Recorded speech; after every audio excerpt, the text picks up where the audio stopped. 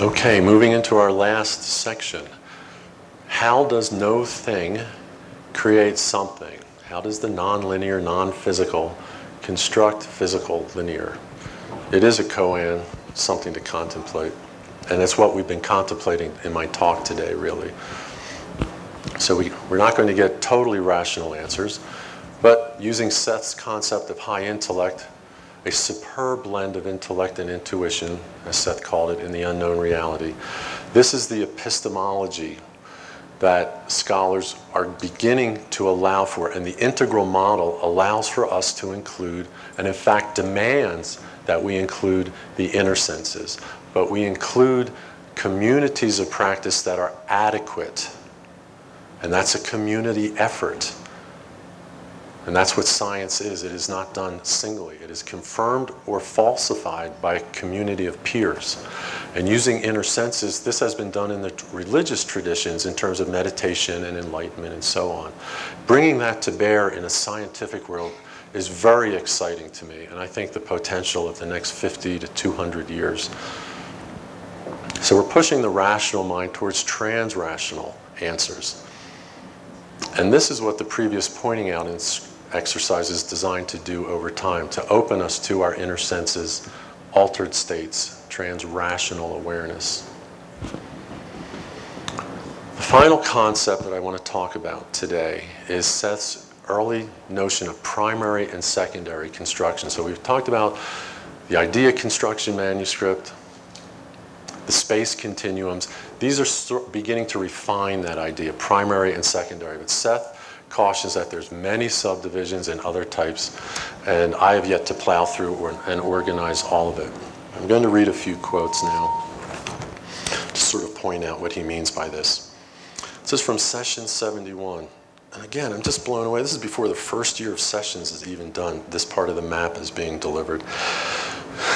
And we're still unpacking it 45 years later. I mean, that's the cool thing, you know, that now in time we're able to digest this and put it in other structures and make more sense out of it. Seth says a primary construction is a psychic gestalt formed into matter by a consciousness of itself.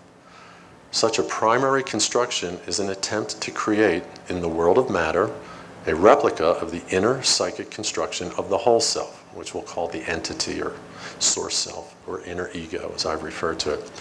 Such a primary construction allows consciousness to operate, manipulate, and be perceived in the world of matter. The physical construction of consciousness is never complete as far as fulfilling the inner purpose involved.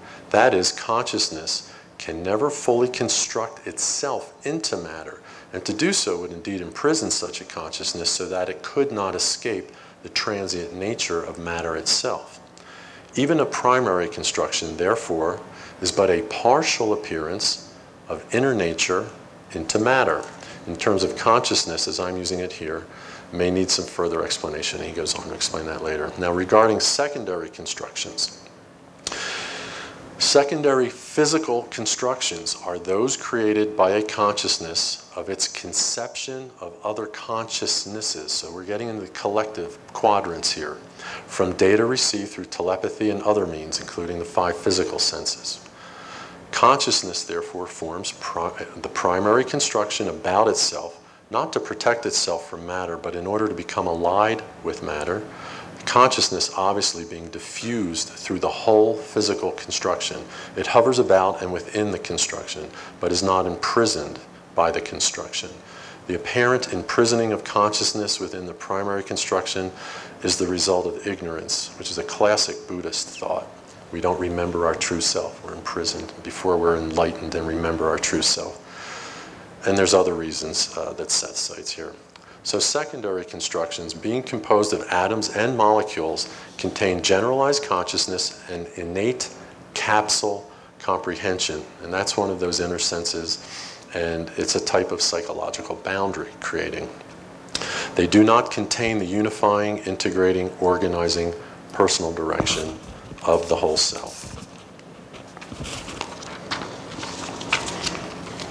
Okay, so that's just an introduction to the idea of primary and secondary constructions. I want to, if I can stretch your mind even further today, We're going to just sort of walk through then a developmental sequence now from the Big Bang. And this is, a, in a nutshell, a summary of Seth's before, well, in the beginning, the first five chapters of Dreams, Evolution, and Value Fulfillment. So there's an initiating consciousness, and I put that in capitalization to show that it's a structure within all that is that's involved with the creation of universes. And so we have what I just call physios, quantum fields, nebula, galaxies. I do not believe in the, that we poofed in fully formed. And the, that's creationism, and I believe that's a traditional and less evolved understanding of the physics and psychology and so on of reality creation. So the Big Bang happens, quantum fields, all that basic stuff, the physical stuff that physicists deal with primarily are there.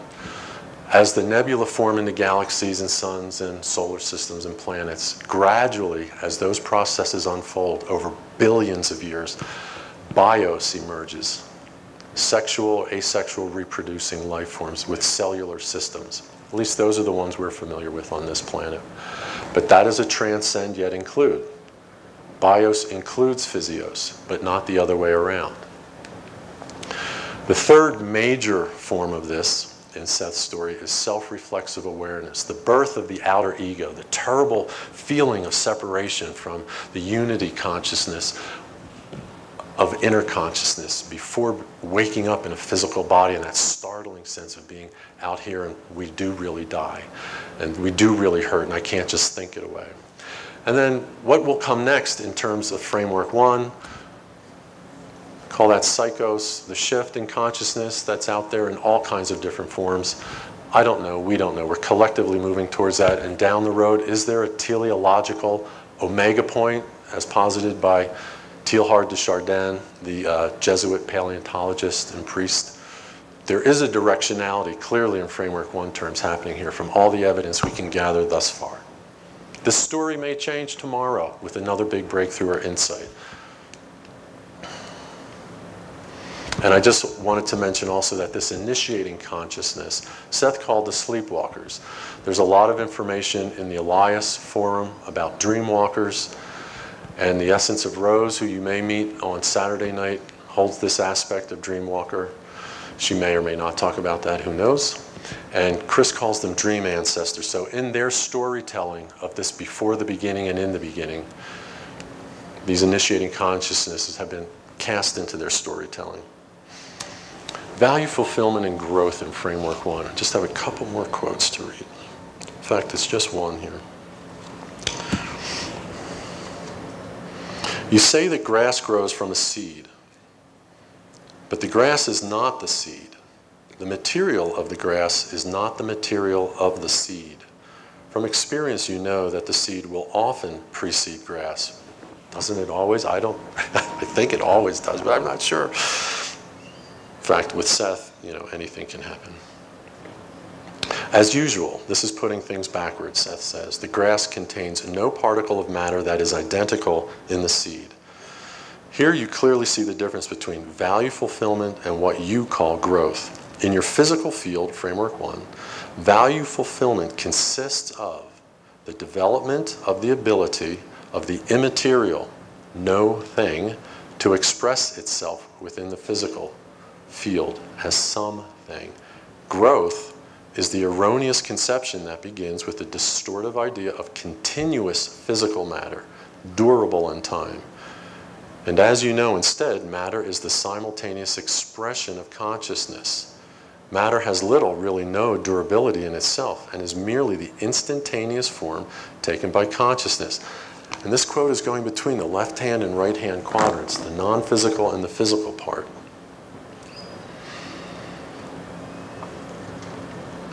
Grass is common. It is supposed to grow from seed.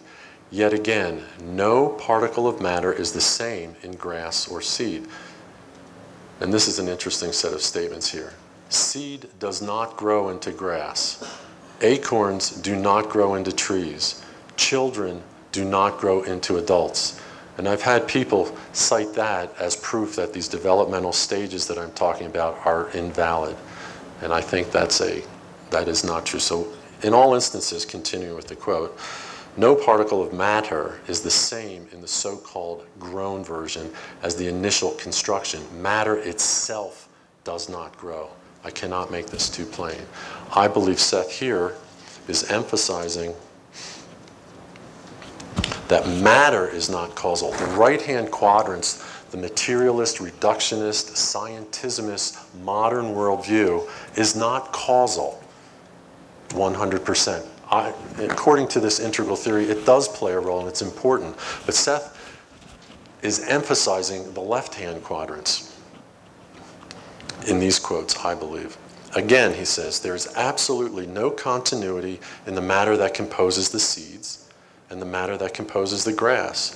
What you have instead is the value fulfillment of consciousness behind matter as it expands and expresses itself in various forms. And this expansion and expression is part of the Sethian definition of development in Framework 1 terms. So I believe there are develop, valid developmental stages within the primary and secondary constructions. I believe that there are stage sequences inherent, innate in the blueprints for reality that the dreamwalkers dream up in their creation of universes. But they're guidelines, they're tendencies, they're not fixed. For example, in our world, caterpillars don't grow into bananas, baby don't, babies don't grow into oak trees.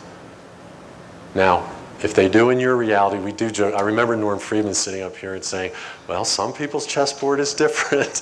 and in their reality, this may be happening. And we do have to factor that in. We cannot just marginalize that and diminish that. There may be some amazing new insight coming out from that perception. So we have to account for that. So just to reinforce, there's a physical stage sequence.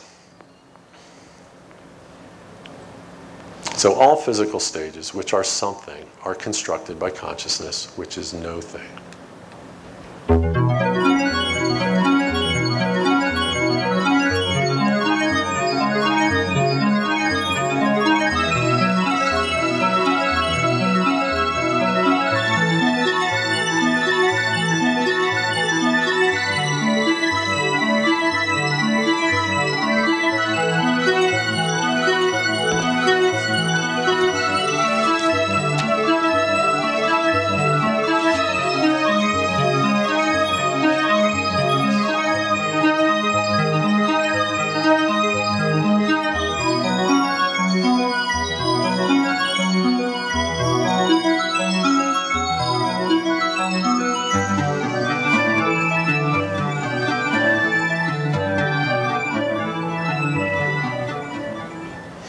All of these images, by the way, are by a surrealist painter named Jacek Yerkas.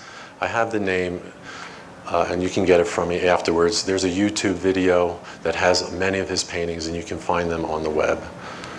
They're quite beautiful. All right, to wrap this up, and I'm going to go through this quickly because I did want to have some time for interaction and questions. So what? What's the point of all this? When we consider how various developmental sequences work together in systemic harmony, this quadrant integral notion, we get a more complete, balanced, and integral view. Einstein, there's a famous quote of his that says, the problems we face today cannot be solved by the level of thinking that created them, implying we need a wider awareness, a more evolved awareness. And these stage models support that notion. So these are in integral terms, just different ways in the left-hand side and right-hand side, internally and externally, that individuals and collectives develop through. Acknowledging these sequences means that some things in framework one terms are better and worse, wider and narrower, mature and immature, and dare I say healthy and unhealthy. Good and evil do exist in the traditional worldview systems. It is real out there. Look at our president in office and his evildoers. And look at the fundamentalists supporting the current Republican ticket. It is a reality, and it's something we have to be sensitive to and to work with and factor into our integral approach to things. This has evolved, though, in terms of modern and postmodern worldviews into the notion of health and pathology. That's really our version of good and evil, better and worse. So judging is not bad. We do it all the time. And this is contextual, okay? I really have to nuance this and subtly explain this, and I don't have time today, but I'm just putting that out there. So the point is to learn to use great care, concern, and compassion with whatever developmental stage models we go on to use for whatever purposes. Why? To avoid the horrors of Nazi Germany's social Darwinism, eugenics back in the teens and 20s of the last century, racial hygiene, human experimentation, sterilization, genocide, all result from the improper use of these developmental sequence. The intent is good, but the results have been horrific. And so this is the great danger that I believe faces the integral movement and will either solidify it into a useful movement or make it collapse and evolve into something else down the road. The Seth material emphasized the individual and as such it has yet to scale up into the collective in any significant way. For example, there are only three books dedicated to the collective and they came rather late, the, the last two posthumously. So really by the time these books came out and the Seth thing had hit and it was very big, the nature personal reality, Seth speaks, I create my own reality, boomeritis, narcissism was rampant, often running with that.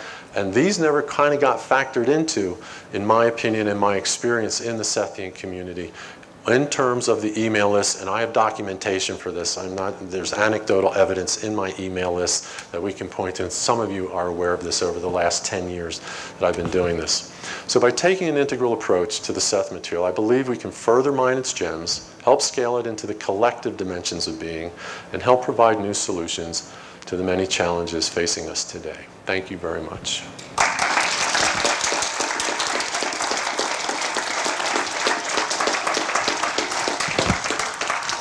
Okay, we only have five minutes, but if there's anything left in there for questions, yes?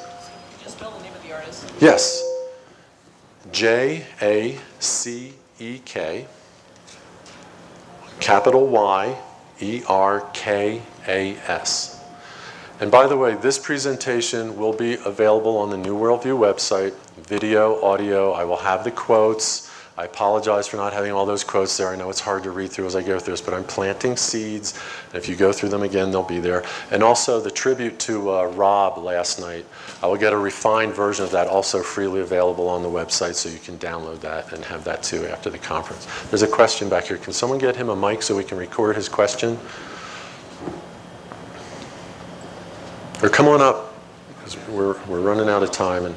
It's lunchtime, and I'm sure you're all hungry and looking forward to a nice lunch. It's pressure. I forgot. Thanks, Ethan. Can you hear me? Well, I'm not. After all, I'm not sure it was uh, all that great a question, but um, I don't know if you saw. On, I think it was on in Salon.com. There was an interview with Ken Wilber, and he well, he was critical of uh, Deepak Chopra and um, some of the things that you've been critical of, but I wondered whether, I'm, I'm not sure whether you read the interview, but. I'm uh, not sure I have. I've, I've read most of Ken's work, But, and uh, notes included.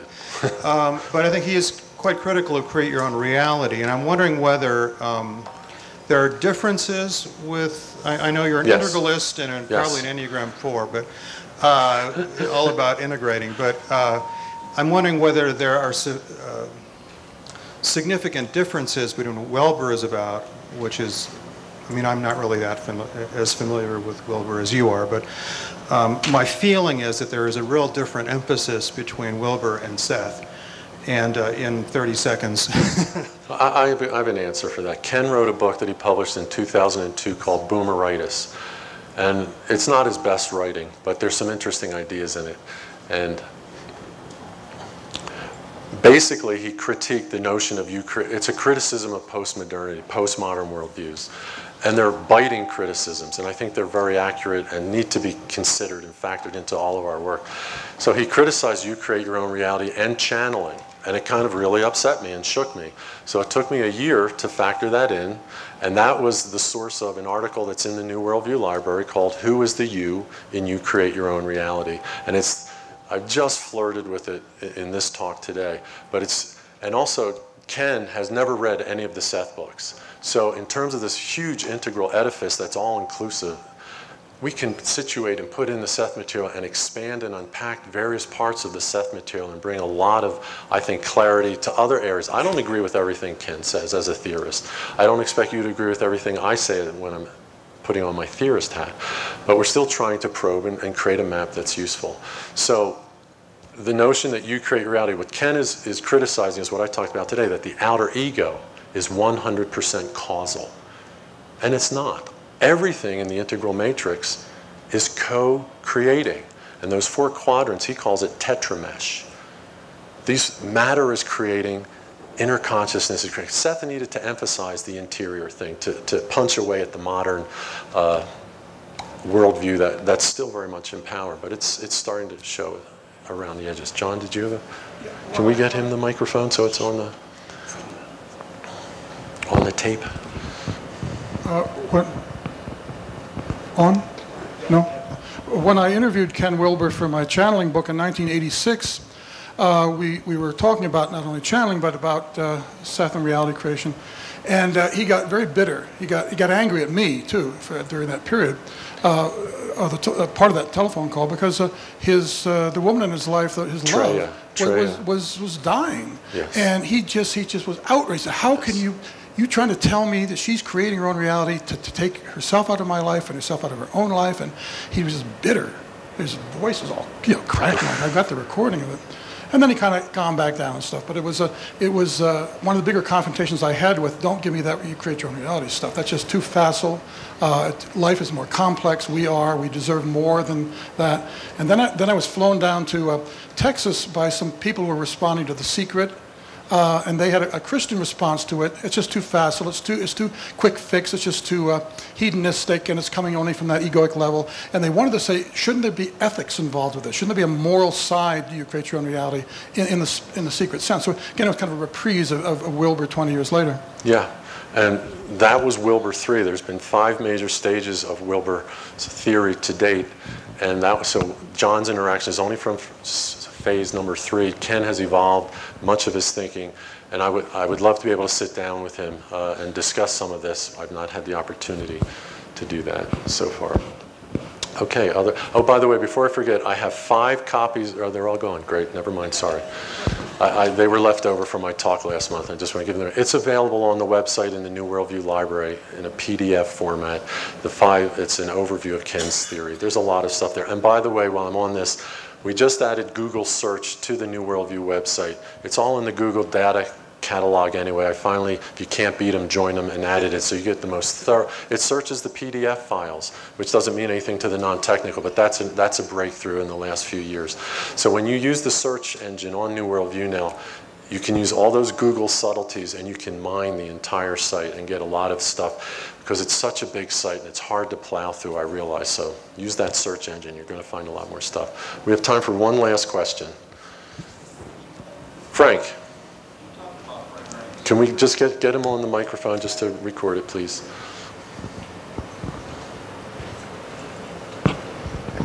Talked about primary and secondary creations. Could you elaborate a little more about secondary creations? This isn't the self, this is the, what I would say, the outer self creations. This is a distinction that Seth makes, right, between primary and secondary constructions.